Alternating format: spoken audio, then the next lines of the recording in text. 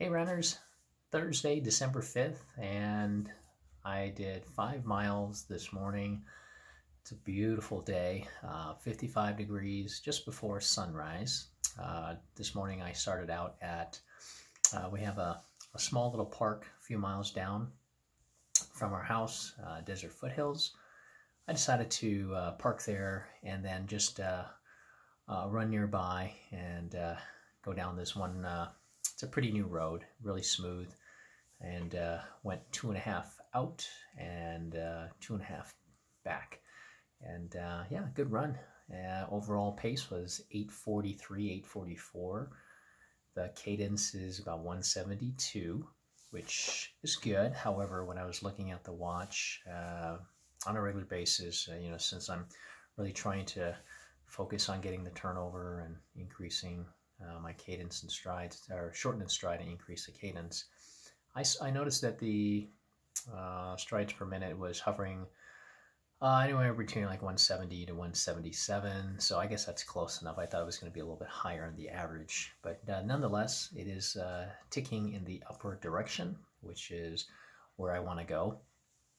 Uh, on average, I used to be about 165 to 166 uh, over the past maybe two months that I've been at it. Um, probably closer to the 170, 171 mark. So yeah, it's an improvement, but uh, still would like to get closer to 175 uh, if possible. So yeah, today was a great run.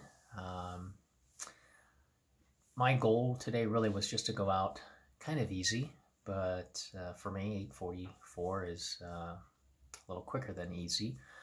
I just felt good after that first mile. Um, it is a little bit of a down uh, hill start for the first uh, about half mile.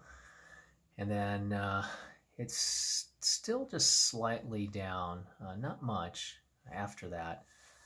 And uh, I kept up with it. The first mile was uh, 840, I believe 844. And so I felt good and I kept at it. And didn't do any miles slower than 850. So I wanted to keep up with it. Um, felt good overall. My heart rate was hovering about 141 on average.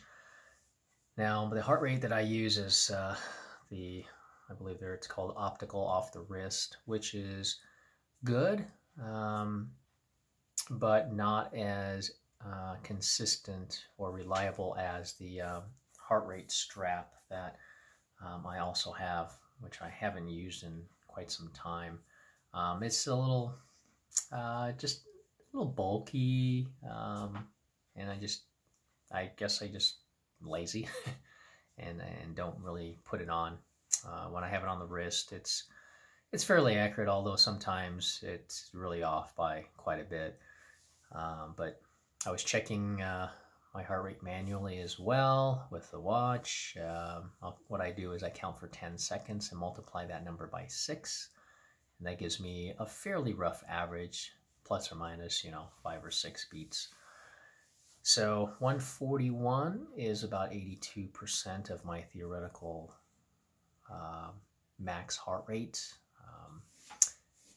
And uh, you get that basically by taking 220 minus your age. So for someone who's, say, 20 years old, which I am not, I'm much older, but just as an example, if you take your age, if you're 20, you minus that from 220, and that gives you 200. So that is your uh, approximate max heart rate would be 200 for a 20 year old. So for me, my max is 170. I'm 50.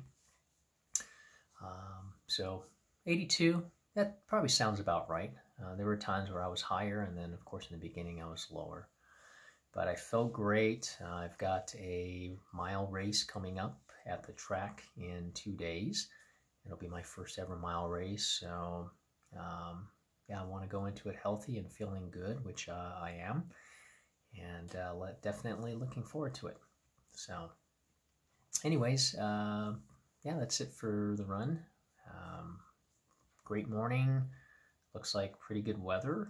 Uh, we were supposed to have some rain overnight, which I don't think it happened because the roads were pretty dry. But um, that always makes for a nice, uh, nice run when when you don't have the rain and it's clear skies. Well, that's about it. I hope you have a great day and thanks for watching. As always, if you like this video, please give me a thumbs up down below and also be sure to subscribe to my channel if you have not yet subscribed to get uh, up-to-date uh, footage and content on my running. Love to hear from you and let me know what you are doing when it comes to your running and if you have any questions on training and such, be more than happy to answer them. Thanks and have a great day.